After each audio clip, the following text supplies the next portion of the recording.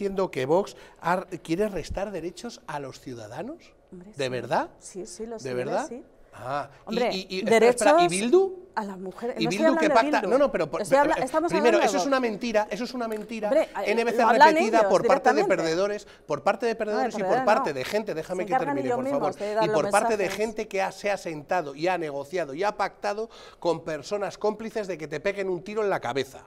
¿Vale? Y que maten a niños. Eso es lo que con quien ha pactado el Partido Socialista. eso, no, Déjame que termine. Punto dos. El- ese Partido Socialista que tanto defiendes, ¿m? que está muy bien que lo defiendas, oh amado líder, ¿m? le defiendes cuando está pactando con los que quieren romper España. Punto ¿Dónde 3. está A ver si me dices que eso no es restar derechos a los ciudadanos. ¿dónde están los pactos? Pero ¿cómo que dónde están los pactos? pactos. Es que no te acuerdas Oye, con quién ha gobernado, gracias a quién ha no gobernado Pedro Sánchez no durante... tenemos ¿Me dejas terminar, por favor? unas ¿Me, de- elecciones, ¿me ¿me dejas terminar, por favor? Sí, ¿Me dejas te terminar? ¿Me quieres decir con quién ha estado, con quién se ha apoyado Pedro Sánchez para estar en el poder mientras que ha, antes de estas elecciones?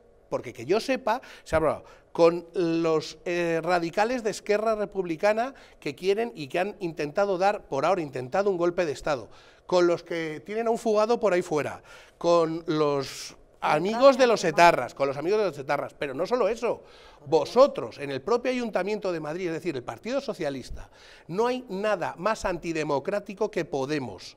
Nada más, y les habéis apoyado en todos los sitios donde habéis podido.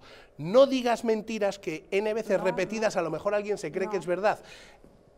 El partido Vox no es un partido que reste derechos a nadie, al contrario, es un partido que, primero, lo han votado libremente muchos españoles y eso merece un respeto, probablemente por vosotros no, pero merece un respeto todos aquellos votantes del partido.